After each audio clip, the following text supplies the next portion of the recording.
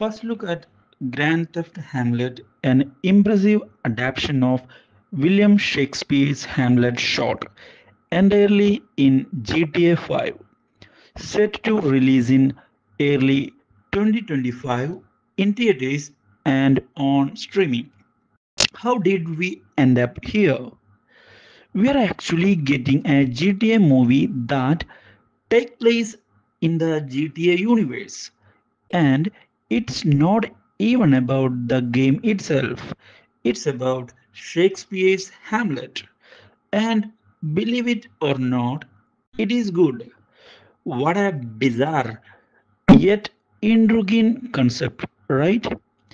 If you can't tell, a new movie is coming out early next year that take place within the world of one of the most popular games ever. Grand Theft Auto 5.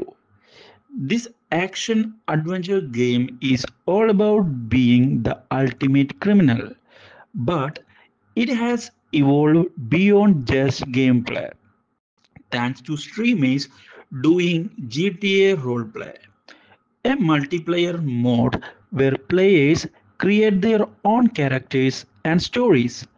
It's become a unique storytelling medium. Think of it as playing house but in a video game setting. Now, this film takes GTA payroll to an entirely new level because a group of directors you probably haven't heard of decided to create a movie that is creative twist on Shakespeare's Hamlet, all filmed in GTA 5. The first look at the film honestly looked like a standard screenshot from the game, but that's beside the point.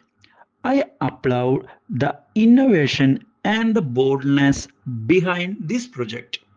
We rarely see movies that take such risk. So this definitely piqued my interest. The production company behind this film has a solid reputation and it even won a competition at South by Southwest, one of the most prestigious film festival in the world. So who know how they pulled this off? But I'm eager to watch it. And you know what? Now I'm inspired to make a movie too this time in Minecraft, and it's all about the Titanic.